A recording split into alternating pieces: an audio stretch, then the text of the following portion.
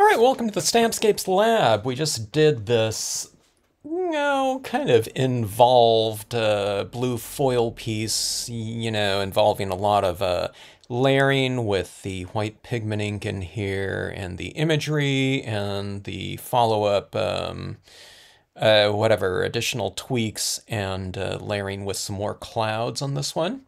Really great, you know, fun type of scene to do, but it did involve quite a bit of layering with that white pigment ink and um, spray sealing with the Krylon uh, workable fixative. Okay, now anytime I do this type of scene, and if I really enjoy that type of, uh, you know, surface that we did, um, I like to do kind of a quick application um, using the same media, but you know, just going for different looks. I like to give uh, you know people some options here. So what I'm going to do is I'm going to use the same ink here and the same surface, okay? But we'll be doing, you know, we'll be going for a different look and a different process using that combination of surface and media here.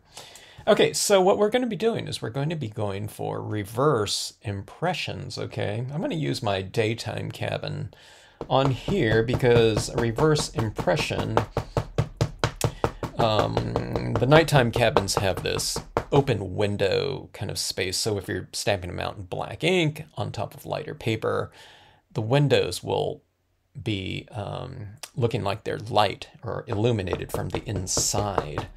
So if I'm doing this in a reverse, everything's going to be opposite. So uh, just this paper is a dark paper, so it's, you know, it's conducive for a nighttime type of scene. So I'm going to use my day cabins, which have um, darker windows, um, suggesting, um, you know, exterior illumination, I guess, and uh, a darker interior because they don't have the lights on.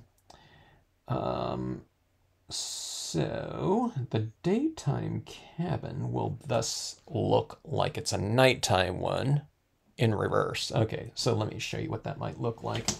Okay, now we're going for um, uh, water-based pigment ink impression here.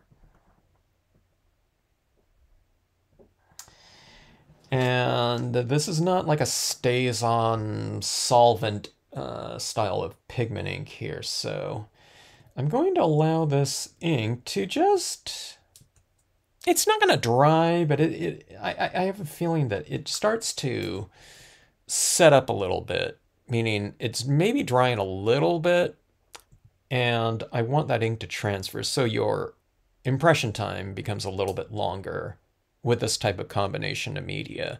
A very thick ink and a very non-porous surface, so nothing is getting absorbed into the surface, okay? So we get something like that, all right? It's kind of like a like an X-ray or something like that. I don't know. That's what it kind of reminds me of. It's it's like a negative, uh, like a film negative. If people remember what those are still with uh, digital photography these days. Okay, I'm just going to use the other side of this um, cabin uh, again. And we'll go a little bit higher up here. And same type of thing, you know, just allow that ink to transfer. So we got a pretty good impression right here. Oops. Of that reverse um, print. Now you don't want to press too hard because you don't want to squeeze your ink out from underneath the stamp, okay? So just adequate even pressure, okay? I do have a, you know, little stack of papers underneath here, so it gives me a nice cushiony surface that if there's any irregularities, it'll contour to the bottom of the, uh, uh, in this case, foil like that, okay? So that like there, and I'm kind of debating on whether or not I want to go for one more up here. I might go for something else up here, but let's see how it goes. Or let's see how, you know, this is looking with, uh, you know, a few extra um, images stamped on here. I thought I would go with this um, tree in the foreground. This one's the pine.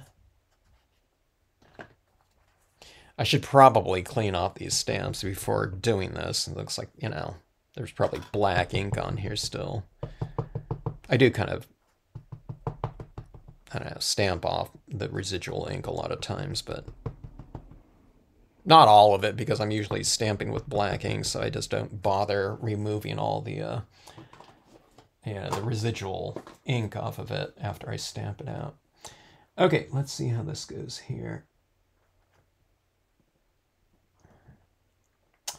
This will, you know, represent the foreground, so we're going with a larger um, image here. Boy, that pine really stamps out nicely on here. My my ink pad's probably about yeah, it's that medium, you know, wet. Maybe a little bit more than medium, just slightly past medium. So you want to have a decent amount on there, you know, just so you have enough to transfer on there.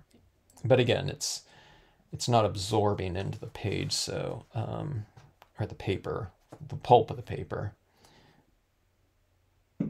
So it is all surface, okay? Normally, um, your is going to be stamp out and some of that moisture is going to get a uh, get absorbed past the surface of the paper into the pulp. Um, but most foils are pretty non-porous. There might have, you know, some of the cheaper ones might be a little bit porous, which makes them actually good to stamp on because your stamps have something to kind of grab onto a little bit easier than like a super glassy surface. This paper right here, cardstock's are really, really glassy, which makes it more dynamic, but, you know, it doesn't have that absorption um, factor. Okay, you know, I'm just using a smaller part of these trees just so it doesn't look so redundant. I don't want this picket fence type of thing going across here, you know what I mean, with all equal um, heights. By the way, um, now this is a longer piece. This is a four and a quarter by um, 10 inches. I don't make it quite half page because I, I want to be able to mat this off, um, you know, with another piece of uh, paper. So I, I cut off one inch off the top. Okay, so that's what we're looking at right here. So, you know, slimline type of format here. Okay, let's go for some additional foreground in here. Or not foreground, but texturing, okay? This is what I usually do with black ink on lighter um, surfaces, but um, black isn't going to show up at all on this dark blue paper.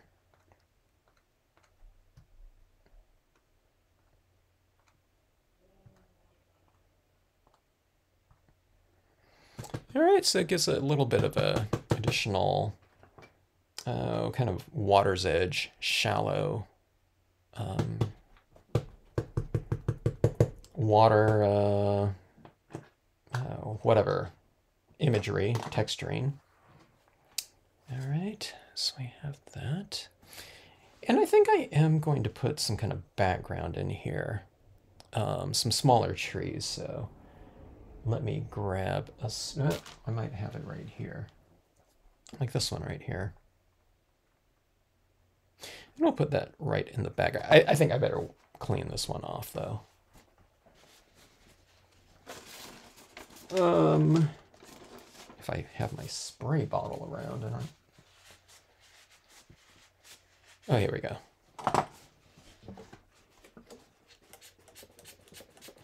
I just use um, just regular water. Uh, to clean my stamps off, usually no matter what type of ink is on them. And that's what I've been doing for, you know, whatever, um, the last hundred years.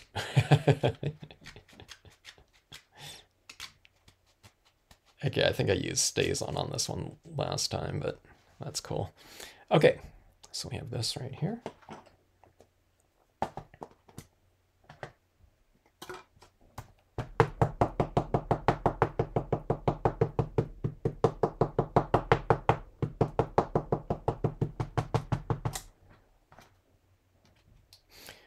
Try something on this one. I think I'm going to try, this is kind of an abrupt end right down here. So I think I'm going to wipe some of that off a little bit just so it, oh, it just kind of transitions into that water area a little bit um, more gracefully.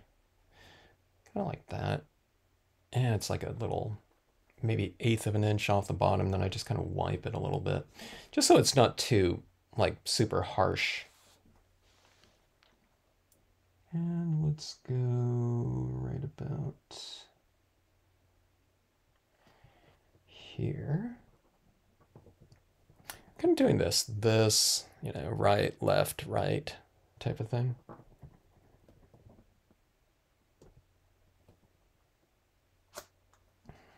Yeah, I think that worked out pretty good. See that little kind of wipe off at the base right there? It's like some of the the foil shows through it a little bit more right down there, which is kind of cool.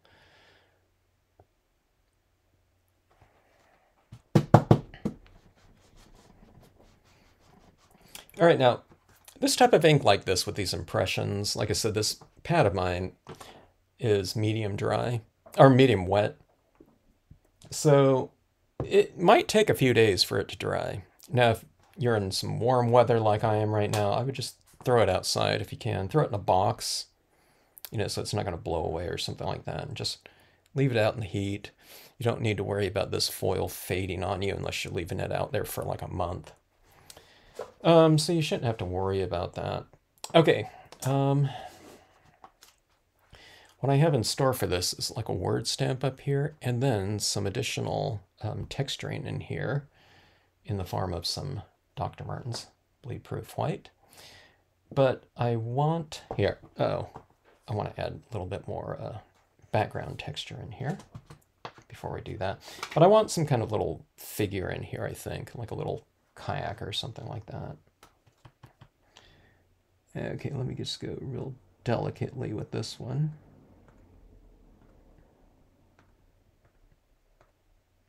I almost just, well, I just stamped it out or inked it up once so that my impressions back here are kind of darker, more see-through than these ones, okay? Because it's, I don't want them to be as prominent. One of the things that when you're doing this type of thing too, um, unless you're stamping it out with a StazOn white, which is probably, a, you know, dry instantly, um, you just have to be careful that you don't touch this, you know what I mean, as you're working on it, or as you're adding something in, touching, you know what I mean? You have to be careful about that. Um, but I don't know, just keep aware of it. And if you smear something on accident, don't really worry about it. Just wipe it off with a cotton ball or paper towel and just restamp it. It'll come right off. But allow it to dry and then spray seal it. Um, get a, like a workable fixative, uh, Krylon workable fixative, and it'll set your piece up really nicely.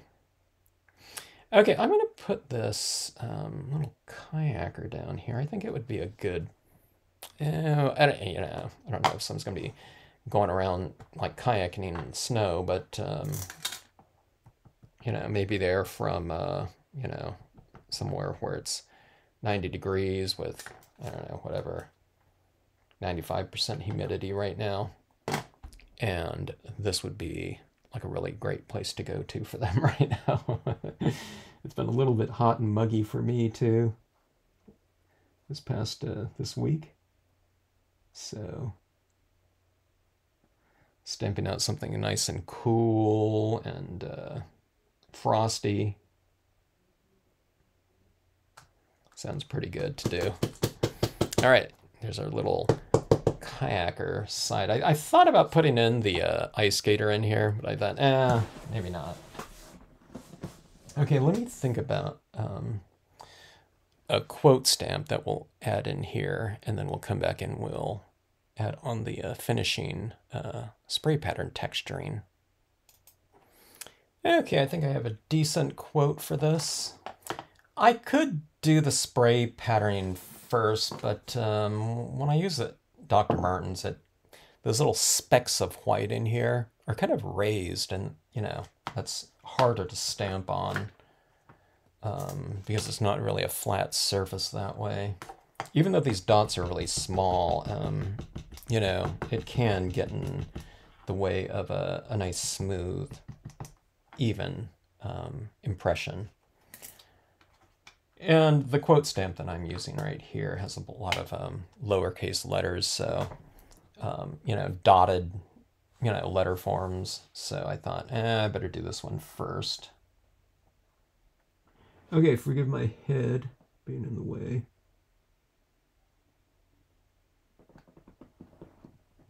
In live streams, people are probably saying, yeah, get your big fat head out of my way, I can't see. I, I nothing has to be really lined up with Stampscape stamps because you're meant to overlap things, things are going off the page, um, etc. But word stamps, you know, that's a little bit of a different story. Quote stamps, you you, you want those to be, you know, positioned pretty, um, you know, precisely. All right, I love that look here. I love um, reverse text. It's always been a, one of my favorites. I always like doing like white on black or white on, you know, dark. So this um, looks really fun like that. Isn't that kind of like a fun little layout like that? Okay, so I am going to get some, you know, some splatter painting in there. Okay, but I'm largely going to try to avoid uh, getting too much in there. Okay. All right, so some Dr. Martin's Bleed Proof White, which is an opaque white watercolor paint. It dries really fast, and um, it's a favorite of, you know, like calligraphers mostly, um, doing their letter forms. It's very, very opaque, but people have done things like um, you can just add these dots in with a gel pen or a paint pen if you want to. Um, people have used correctional pens sometimes. They've kind of shook them onto their pages or slapped them kind of like, you know, like this and splattered down like that. But if you really like that look, I would recommend getting a bottle of the Dr. Martin's and it'll it'll really last a long time, especially if you're just using them for this type of application. Okay, so I'm being careful not to touch this uh, at least too much, okay? All right, here goes my stars. The closer you go, kind of the more, you know, precise the uh, application in a given spot. Then you go a little bit higher and it's, you know, wider spray pattern. Okay. But this type of thing right here, this texturing, um, brings a lot of continuity to the piece. What you're doing is you're putting a common texture over everything. So it kind of binds things together a little bit more. Um, texturally lighting too, because it's something white on top of uh, you know, something darker. And then, you know, on this one right here, that I'm not doing any blending except for, you know, certain types of textures, but not really so much. I mean, the common thing was the, uh, these little rocks on far, you know, middle ground, not really so much in the foreground, but this is like closer, farther, farther away. And they both have that, they all have those textures down there. Now they all have another texture in the form of these, you know, these little stars in here, okay, or snowfall. And let's see what we'll do here is, know, it's a blue tone scene, so why don't I add in some additional stars uh, or snow um, with a color that's the same color as our surface here. So it's all kind of within theme. All right. Maybe I'll add, uh, you know, maybe some of these stars will be a little bit larger than, uh, you know, some of the splatter painted ones, just for some variation.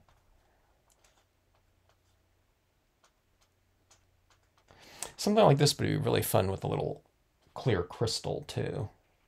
I don't know if I'm going to add it in this one. I mean, it, it would kind of be cool and it just takes a second, but I, I just want to do a really quick scene here. Again, that's the uh, entire purpose of this one right here is just, you know, to come up with something very quickly.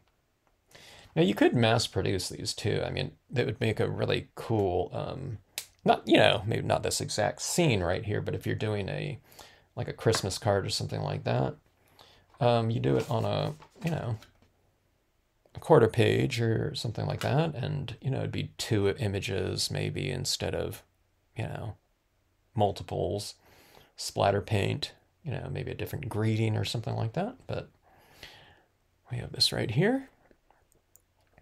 And I'll throw a little bit of border around it and uh, double matte.